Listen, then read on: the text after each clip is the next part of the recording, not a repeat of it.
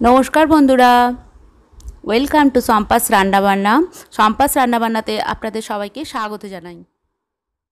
আজকের ভিডিওতে শেয়ার করছি গরমকালের খুবই উপযুক্ত খাবার, গাজরের মিক্স রায়তা। আর গরমকালে এই রায়তা পেট ঠান্ডা ও হজম করতে সাহায্য করে। আর কোনো রকম গ্যাসেরও প্রয়োজন হয় না। গ্যাসের ঝামেলা ছাড়াই এটা আপনারা খুব সহজেই বানিয়ে ফেলতে পারেন। আর গরমকালে ভাত, রুটি, পরোটা যাই থাকুক না কেন, এরকম রায়তা খেতে কিন্তু অসাধারণ লাগে।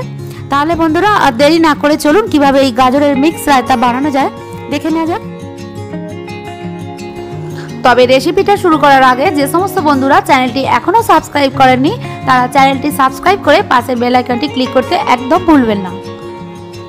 এখানে আমি দুটো গাজর নিয়েছি, আর গাজরগুলো আগে থেকে ভালো করে আমি ধুয়ে নিয়েছি।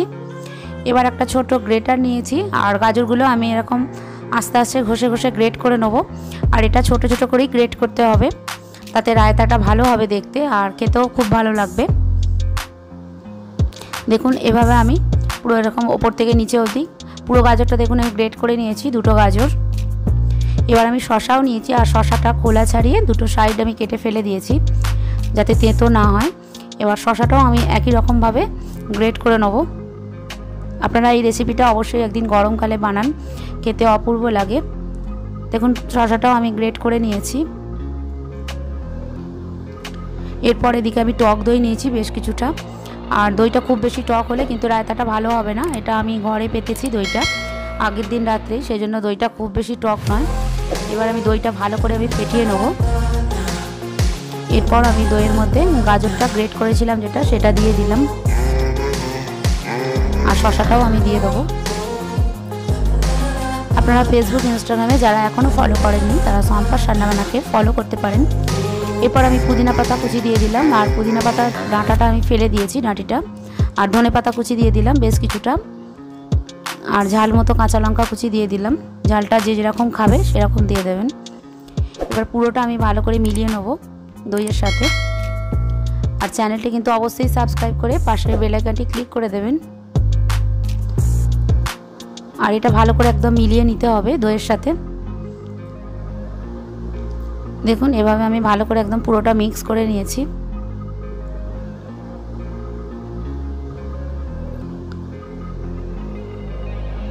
এরপর এখানে আমি এক চামচের ব্রাউন সুগার দিলাম। আপনারা সাদা চিনিও দিতে পারেন, আমার কাছে ব্রাউন সুগার ছিল সেই জন্য আমি দিয়ে দিলাম। আর কিছুটা কালো কিশমিশ দিলাম। এখানে আপনারা লাল কিশমিশও দিতে পারেন। আর কালো কিশমিশ দিতেও দিতেও পারেন, যেটা ইচ্ছে। এরপর আমি স্বাদ অনুসার নুন দিয়ে দিলাম।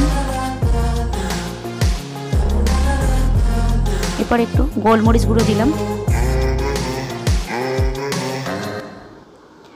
আর গোলমরিচটাও যে যেরকম ঝাল খাবে সেরকম হিসেবে দিয়ে দেবেন। এরপর আমি ভাজা জিরে গুঁড়ো দিলাম এক চামচ। আর বিট লবণ দিলাম একটু। এটাও হাফ চামচের মতোই দিলাম, যেহেতু এখানে সাদা নুন দেওয়া আছে।